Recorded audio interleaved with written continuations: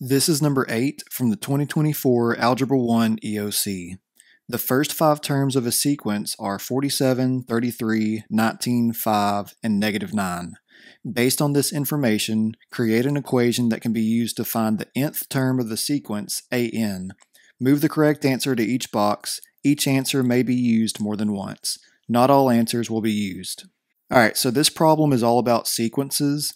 And so the first thing that I'm going to do is I'm going to take a look at our numbers and see is there any kind of common addition or difference between each one.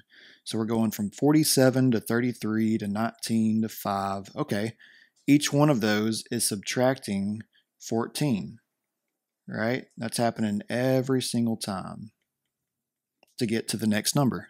So since we are adding or subtracting by the same number for each term, um, just FYI, this is known as an arithmetic sequence.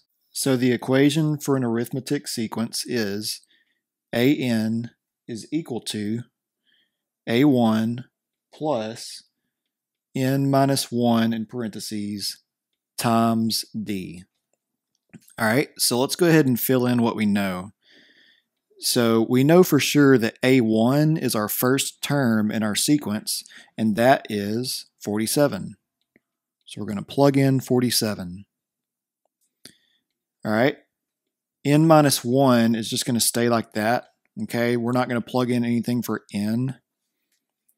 And then D is our common difference, which we found is negative 14.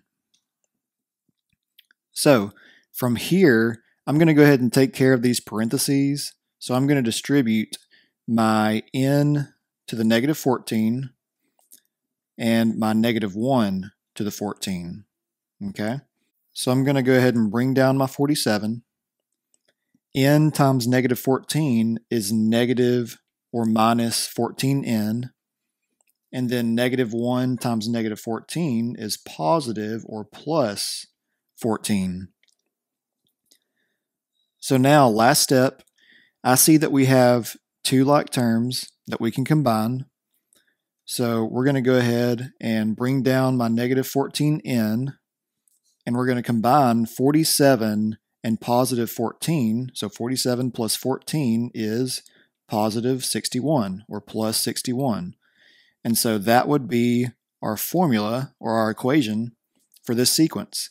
So we would plug in negative 14 for the first blank, and 61 for the second.